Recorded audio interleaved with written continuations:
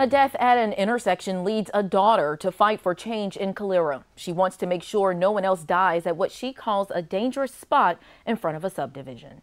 Hello, everyone. Tonight, a Calera community is going the extra mile to save lives after a tragedy struck close to home. And they're taking their demands all the way to City Council. ABC 3340's Bobby Portavent talked to some of them today. And Bobby, what are they wanting?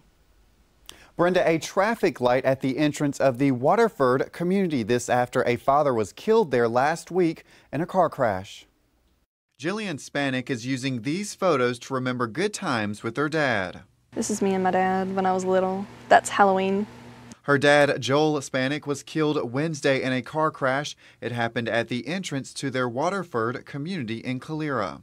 He was sitting at the stop sign going to turn right, and he was just sitting there.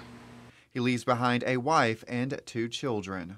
We were a one-income household, so he was he was our rock. Now a petition is circulating to put a stoplight at the place where Jillian's dad lost his life. It would make the just the traffic in that area go a lot slower. The petition has more than 300 signatures, but not everyone in Waterford is convinced a stoplight would stop future tragedies. A lot of times at that stop sign, people roll in and out of the intersection, you know, don't even stop at the stop sign. So if there was a stoplight, I, you know, uh, living in this community for a long time, uh, people, I don't, I don't know if they would stop anyway. The Waterford Homeowners Association says there have been five car crashes at this intersection in the last 11 years. They say this is the only one that's been deadly. Regardless, Jillian is taking the petition to the next Calera City Council meeting in hopes of a change.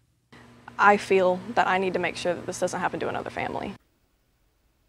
Now that council meeting is scheduled for August 1st. Calera police tell us that the crash is under investigation. Brenda, Muriel. Bobby Portavent reporting. A hit